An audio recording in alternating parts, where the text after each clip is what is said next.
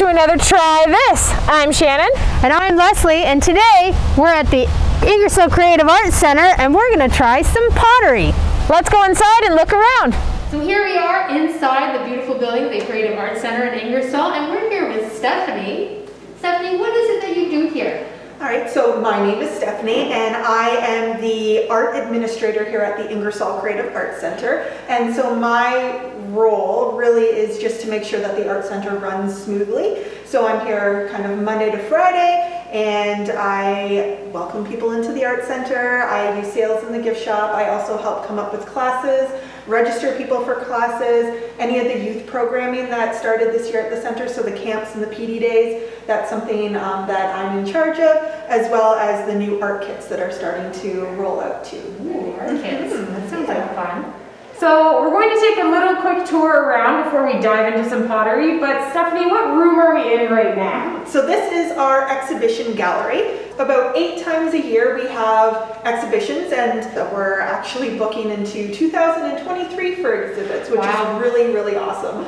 Right now we're featuring Pat Gibson, who is one of our local artists. She's also a member. So a lot of um, her work, especially what you're seeing here, is oil on mylar, and she uses like an, an oil chalk, and um, just it's very abstract, lots of bright colors. She's a very bright, bubbly person, and so you see that in her art. And we're open, the gallery is open um, Monday to Friday from 9 until 3, and then Saturdays 1 till 4. And anybody can come in? Anybody can come in. So we just ask that you sign in at the table and then you can sign the guest book that's here for the artist and you can come on in and have a look. Well, let's have a tour. Perfect. All right, come on. So this room is our artisan market. So a lot of people don't actually know that the Ingersoll Creative Arts Center has a artisan market. Um, so it's our gift shop and what's in here is all handmade items from our members.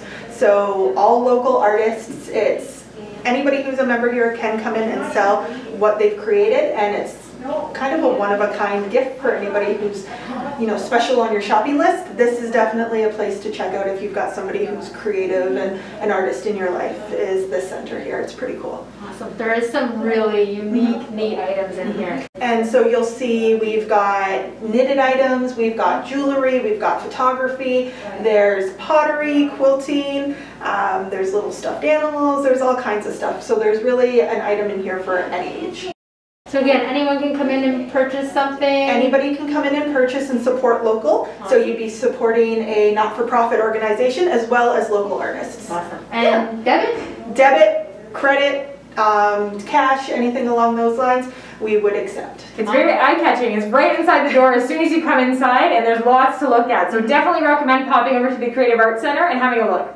So this corner of the building is our Celebrating Members Corner. So every month it features the work of one of our very talented members. This month we have the work of Linda Ridley and she does all of her work with thread painting. So anything along these walls that kind of look like it's been hand painted, it's actually done with different types of thread and fiber arts. So there's a little bit of felting involved. Um, she's also one of our quilters and she also does Zentangles especially in this owl. She's done the thread painting, but she's also used techniques that she's learned during her Zentangle drawings. Every month, there's somebody new that's featured in this corner. All of our youth programming happens kind of in this space, so any of our afternoon classes that we have for youth, so right now we have Paint Like an Artist, which is an art history class, and then we have Crafts with Chloe. Chloe is also our PD Day camp and summer camp personnel who is much loved by the youth. And then uh, if any of our studio time um, goes over the allotted COVID numbers, we have overflow that comes into this space as well. So the room behind us is our fiber artist studio. So in here we have quilting, we have our fiber artists, we have our rug hookers, felting is done in here. So anything that requires some kind of fabric or string or anything along those lines is done in this studio. We also use this space as our painter's studio. So everybody gets um, studio time. So once a week, the, there's a designated studio time for each artist group. Everybody has their own individualized workstations with COVID. They're all six feet apart. It's nice and safe. But, but yeah, it's it's a great space. We also bring our youth camp in here when it's if it's a rainy day, we can watch movies in here. And then behind me here is our Potter's Seconds. This little display is all items that the Potters have made, but they feel like have maybe like a little flaw in it, or they don't like the way that the glaze went, or how how it uh, came out in the kiln. So it's just like little tiny details that you and I probably wouldn't even notice, but the Potters do, and they don't feel like they can sell it in the gift shop. So they have it here as a really reduced price. These these items go really, really quick. So this room here is our pottery studio, and this is Sydnie. She is one of our long-term members. You've been here for a very, for, Very for long. a very long time. Yeah. And uh, she also teaches a lot of our beginner wheel classes and intermediate classes. So Sydnie will be the one that'll be showing you the introductory wheel um, for making bowls. Okay, so I'm going to leave you in her very capable hands, and she's going to give you a little tour of the center. Awesome. Thank you. Okay, so this is, this is our work studio. This is where we put stuff waiting to be finished. Okay, these are all our glazes. You can buy commercial glazes like this, which they're very pricey, or we, we make our own because it's a lot cheaper, but it's labor intensive and it's all done by volunteers. These are our wheels, which is where we have all our classes. These are the things that you would use on the wheel, trimming tools, uh, throwing, throwing tools. When we have something that we've made and it's never been fired, like this, okay, so it's dry, we call it leather hard, we put it in the kiln room, and this is the kiln room. And this kiln is empty. And this kiln is at 400 degrees right now, but it fires to 2300. Okay, so we put it in for one firing is this. And once this is fired, it comes out looking like this. Hard, white, um, just like this. This is this will break very easily. Hasn't been fired at all. This is after one firing. After you fire it, then you glaze this, okay? And then you put it on this shelf, and then it gets fired again to a to, to a higher temperature. So now this is glazed. It will go in there. Someone comes along, takes it out of there, and puts the finished pieces here.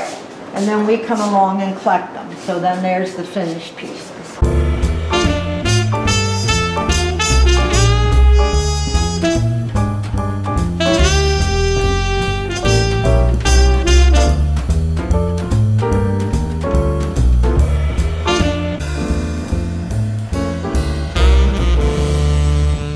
Alright, so we turn the wheel on, we take a pound of clay, and we, we smack it down.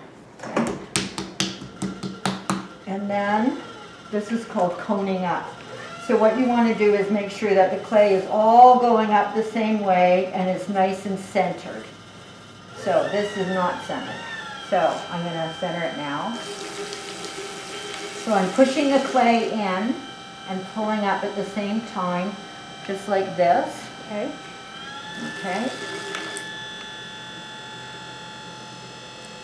And that's fine. Now I'm going to push it down.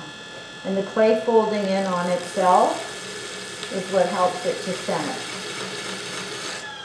So you can see now I'm not perfectly centered. It's a little bit off. A little bit. mm. So I'll pull it up again. and I'll push it down again. And that, that is more centered. Like I can feel that. I don't know on your video if you could see it, but a lot of pottery is feel, okay?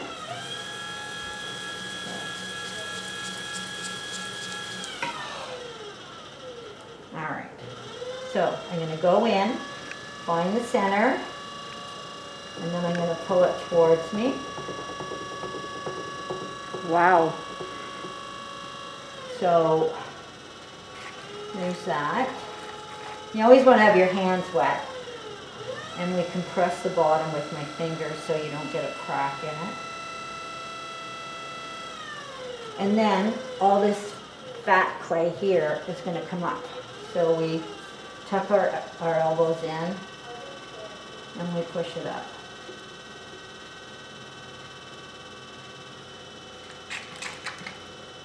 So I'll push it up again. We want it thinner.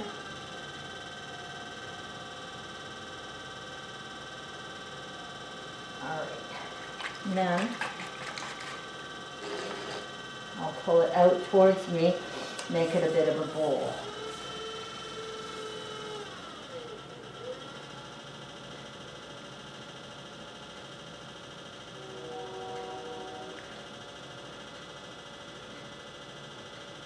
Okay, Wow, yeah. so that. Make it look so easy. I know, that's why we have seven week classes. This is gonna get too thin. And then this is where we recycle a lot of clay, because when you're learning, you just keep pulling and then it gets too wet Ah, and that happens, right? And then we, don't- we wanna use this clay again, but Yeah. it's got so much air in it, you could never center it. Okay. So what we do is we throw it in that bucket and, uh, re- and we will reuse it, okay? And then we can use anything to clean it up. I like, I like the whole CD thing. It's nice recycling those two. Yep, I'll recycle all that. Yeah, yeah, we recycle everything here. Okay, so do you want to give it a try? Okay. Okay, you've each got a piece of clay, we'll do it together. You're gonna take your clay and smack it down hard and hard. Okay, so then spin your wheel around. There's a foot pedal here on your bottom. So spin it around and see if it's stuck on, like hit it.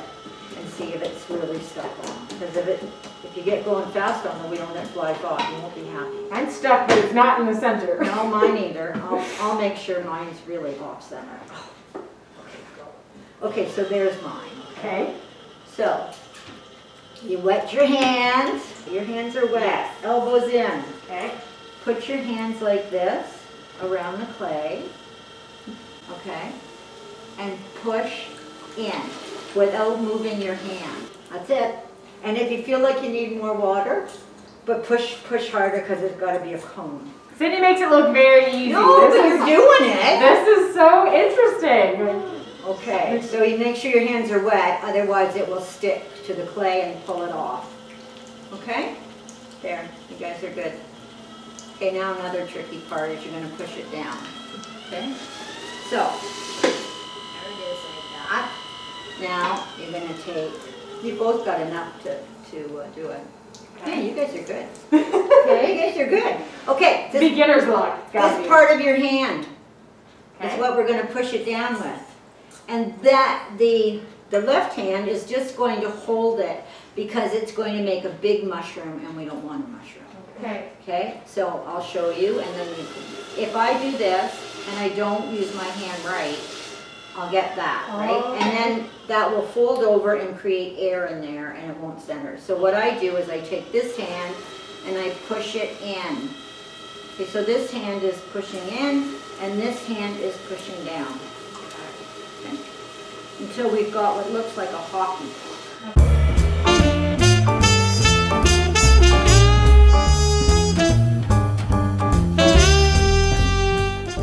Okay, then we, we just take your finger, we go into the middle, and we're gonna push down. But don't push all the way down, because you won't have a bottom on your pot.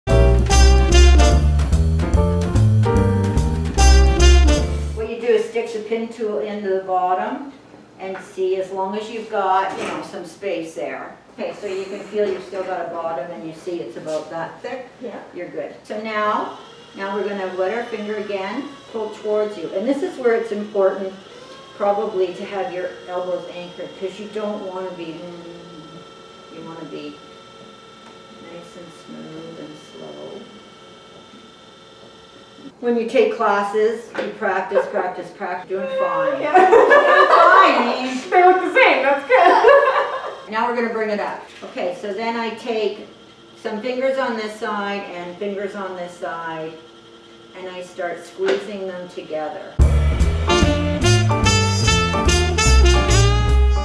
Yeah, per- like, that's great. I mean, that's fine, it's just that it's, beautiful. well, You guys got the hang of it pretty fast. Clay is so playable. You can play with it forever. I mean, Very mesmerizing too It to watch is. it. Yeah, you it's very can therapeutic. Make it- Make it bigger and, like I could play, yeah, you can play with it forever. Okay, that's throwing the bowl. That's amazing. Then we take the clay off, because we're gonna save it.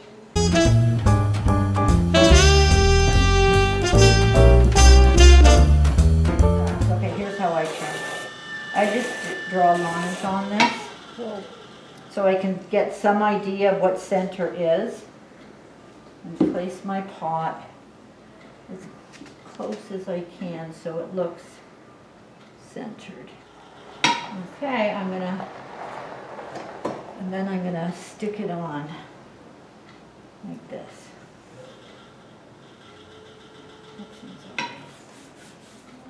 So a little bit of water, tiny bit of water, and just some old clay. Stick it on like that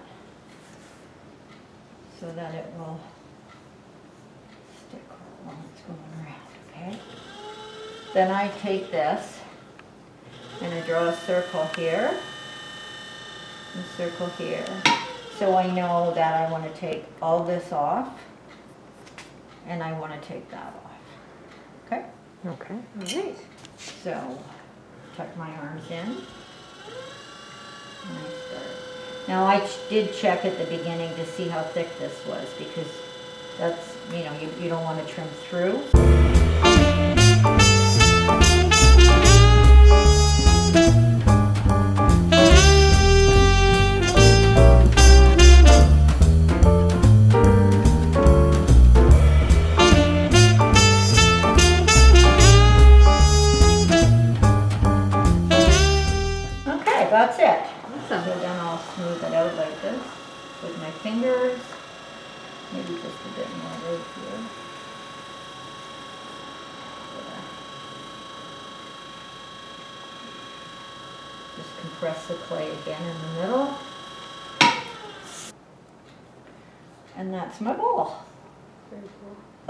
Then that would be a trimmed foot. So that's trimming. You want to give it a try? Okay. All right, let's go. So these are just air dried? Yeah, Okay. like I, I mean, For a couple days? Yeah. Now just take your pencil and draw three or four lines on the wheel. Okay, so there's one and a bigger one and a smaller one because you have a small bowl. Inside one? Yep. Okay, so try and get that, you know, centered. Okay. So this is called a Giffin Grip. So this just centers, centers it for me. Okay. Oh, cool. That was cool. So quick? Yeah, they're expensive, but boy, I sure like them. Okay, okay. so you got your pen tool? Yep. Draw a little line close to the edge. So you're gonna take some off here. Yep. Perfect. All right, It's an interesting looking circle. and then, just so you don't forget, take your pin tool and put an X in the circle. And then all this stuff on the outside has to come off. Okay. So we use our, our tool. Yep. Does it matter which side or? Uh, no, no, I use this just if it's more circular, but this to trim. Okay. I use the flat side to trim. And tuck your elbows in again, so your hands are nice and steady, make the wheel go around. And there you go. Yeah. Oh, okay. Yeah, you gotta make sure it's maybe uh, wet it a bit if you want. It's gotta be stuck right on.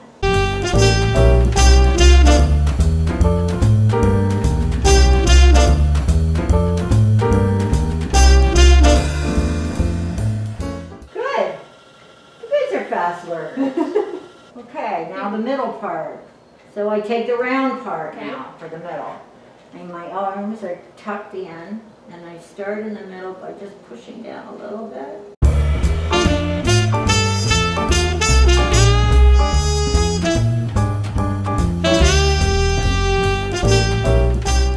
Center part is far more difficult. The inside part is far more, yes it is, yes it is. I totally hear you.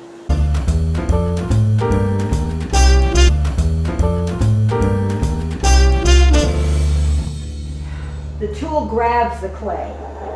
And I don't mind that, okay? Because that's called chattering. And so when you do chattering like that, you can hear it makes a funny noise, not smooth at all. That's an imperfection, but, but a lot of people love it because you get this really cool design. Yeah.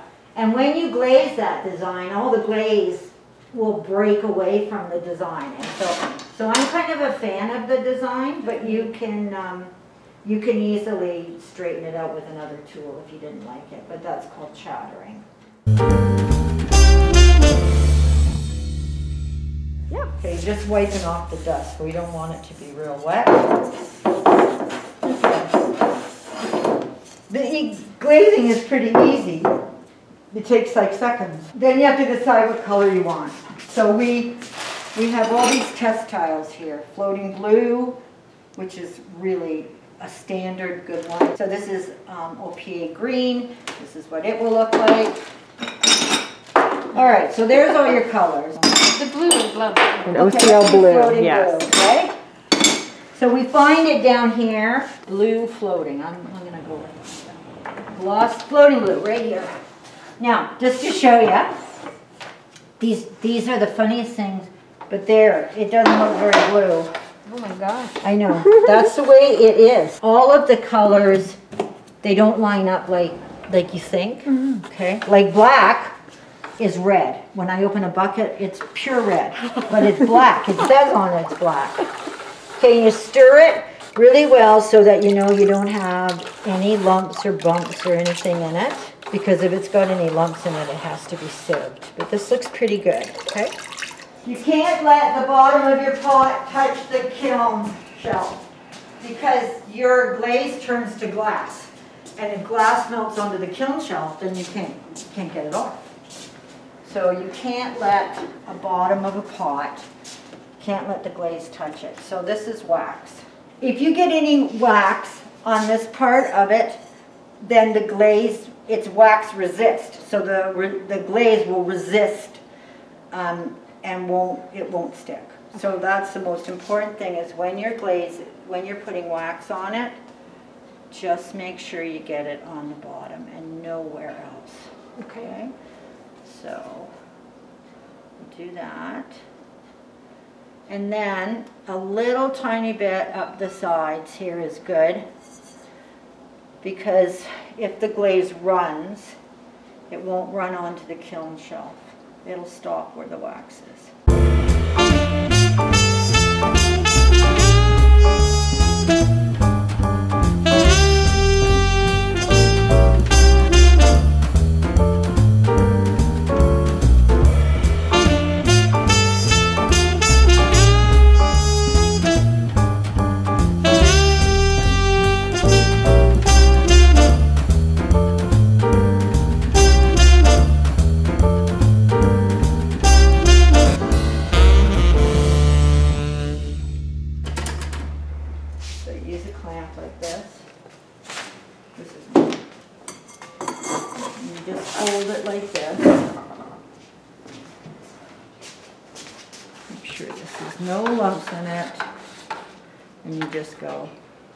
Two, three in, one, two, three out.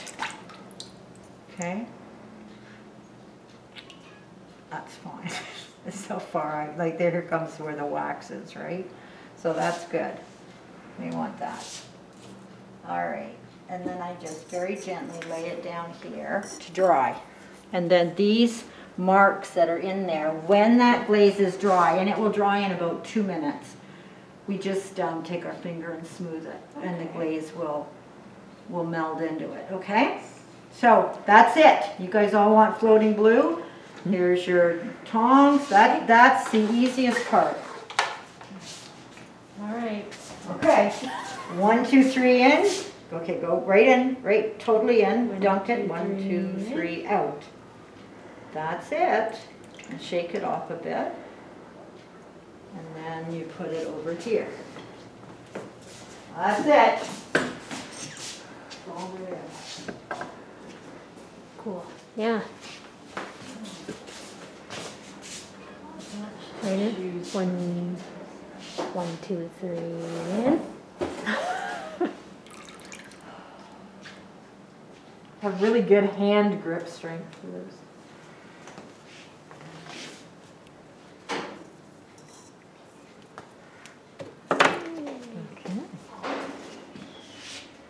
I'm just gonna put another color on the rim and let it drip down. Okay, so when you come back, you guys will see it and we'll see what it looks like. Because you never know. Sometimes opening a kiln is heaven and sometimes it's not.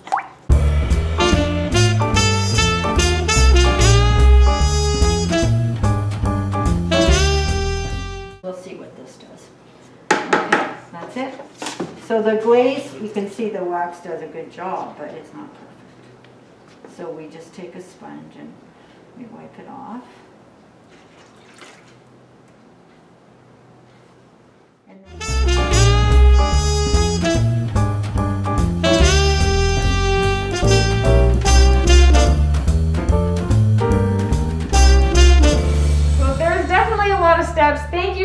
Cindy, for giving us the crash course. Try this version of how to You do guys are very good for first timers, I gotta say. Yeah, Okay. this is so interesting. I'm looking forward to seeing uh, what it looks like when it's all finished, and we will definitely show everybody how it turned out. Okay, that's great, thanks so much. Thank you. This has been such an interesting experience at the Creative Arts Center here at Ingersoll, and we've learned so much. The pottery demonstration and just trying to do it, it she made it look really easy, and it was challenging, but so so interesting. I would definitely like to try a beginner class. Absolutely. I am wearing some of the pottery, but otherwise, that was a lot of fun. I'm glad you enjoyed it. Yes. Yes. So, what do you have upcoming? Okay, so right now, um, we have our fused glass class that we're registering for, and that will happen on December the 15th. And so an example of some of the fused glass work is here, and her name is Jane Wright. But she is a local artist, so um, she has been amazing, and she's willing to teach some of um, our community how to do fused glass. So you can make a six by six inch plate, which is just a little bit smaller than the plate that's located down here, if you can see it, and, or a six inch Christmas tree. And um, so you'll come in, she'll show you how to cut all the glass, how to place all the glass, how to make different designs, and then she'll take it back to her studio where she has a glass kiln, which is different than the pottery kilns that you saw today. And then she will run it through her kiln and bring it back, and then the- the final product can be picked up a couple days later. Very cool. Yeah, very cool. Um, other classes that we offer are, we've got water painting classes, we've got tons of quilting classes. We just received some funding, so we can purchase some sewing machines so that we can offer youth sewing classes, which is really great. Fun. We're very, very excited about that.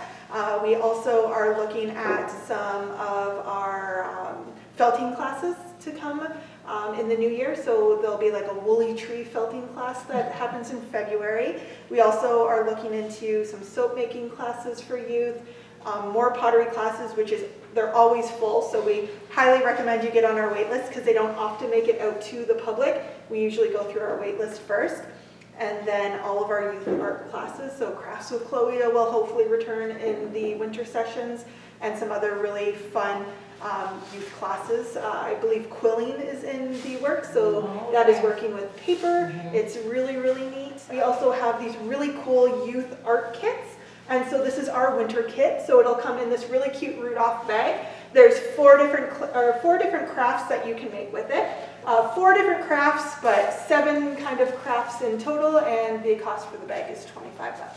So for youth, we do offer summer camps, March break right, camps, winter camps, and PD day camps. So they're full day programs. They're really great programs. They are art based. So for summer camp, every week they learned a different um, medium of art. We typically do fill up, so we do recommend that you register when you see those come out on social media. Um, but they're they're really really great, and they're for kids from grade one to up to grade six, grade seven, and then becoming a member. Yes. So if you are interested in becoming a member, our membership fee for the year, so our year is September to September. So it's $150 and then you'll kind of see a reduced rate that starts around February. So right now, if you were to become a member, it is $150. Um, and then you would be allowed to come in and use the studio times based on the, uh, the art that I guess you want to create. So you would come in during your allotted studio time hours, and then after hours we have a key fob system. So um, once we train you on how to use the alarm system and everything like that, and you've been a member with us for a little bit, you're comfortable with the building, then you can come in after hours to to work on whatever fun art projects that you have. Membership also gives you a reduced um, class price. So we have a community, a non-member community class price and then a member class price, so you'll see a reduction in a lot of the class rates that way too. And then you get the ability to sell in our gift shop as well as our events and deck the halls events that we have that happen throughout the year as well. So before we leave you, um, where do we find information about the Creative Arts Center online or how do we find out about more about it? Yeah, so we uh, have a new website which is launching hopefully in the next little bit, and maybe it'll be up by the time this video comes out, that we're really excited about, but it's um, www.creativeartscenter.com, and or you just type in the good old Google Ingersoll Creative Arts Center and we should pop up and that'll be where you can find all of our updated information on our website. We also strongly recommend that you follow us on Facebook. That's where all of our posts go, um, and that way it'll give you notifications so that if we happen to have a pottery class that comes up, you'll be first, the first to know because you, you follow us on Facebook. Uh, we do have Instagram as well. Even just by coming to Pop In, Pop In, give us a call. Uh, visit us anytime Monday through Friday, and I'll be here to help you if you need anything or have any questions. And for those that maybe don't know exactly where the Art Creative Arts Center is located. Oh yes, so we can be a little bit tricky to find because we're right in the heart of Victoria Park. Pull into the, the big blue park um, and you follow kind of that driveway. We're located right right in the heart of Victoria Park. So it's 125 Centennial Lane, but as long as you know where the park is, you'll find us. Right by the splash pad. Right by the splash pad. If you're driving through the Christmas lights, we're right beside that beautiful um, light um, tunnel that they have. That's our building. All right, well thank you so much for having us, Stephanie, allowing us to see the building and giving us a tour and for letting us to try some pottery. We enjoyed meeting Sydnie, she's awesome. So we look forward to see what else you guys have coming up.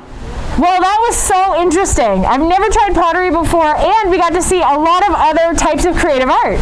Of course, we couldn't leave the gift shop without buying a little something to bring home with us. And don't forget, you can place holds on any of the books that you'd seen throughout this series at www.ocl.net, and you can just search pottery books and see what we have. And of course, follow Oxford County Library on social media. You can find us on Facebook, Twitter, YouTube, and Instagram. And you can find other Try This videos and a ton more programming videos on our YouTube channel. Thanks for joining us today, and until next time, bye!